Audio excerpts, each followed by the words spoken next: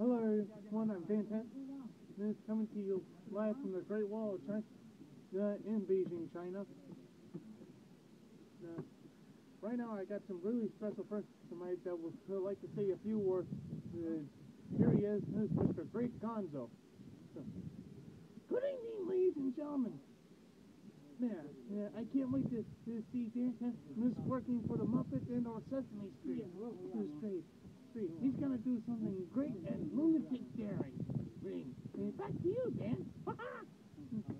Thank you, uh, uh, Great Gonzo. So, so we got some more uh, Muppet here. They're standing by, and here comes uh, Rowlf the dog on the piano. Howdy. Hey, my name is Rowlf the dog.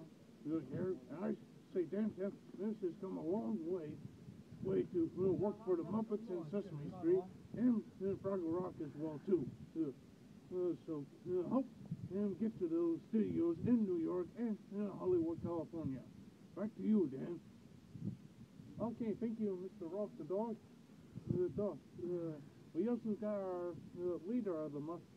That's Mr. Kermit the Frog. Uh, Hi, ho, Kermit the Frog here. Here, and I would like to say that I can't uh, wait for Dan to work uh, with me, the Muppets, Sesame Street, and Fraggle Rock to help uh, kids from all around the world uh, with some good education. Uh, uh, good luck to you, Dan. We'll be waiting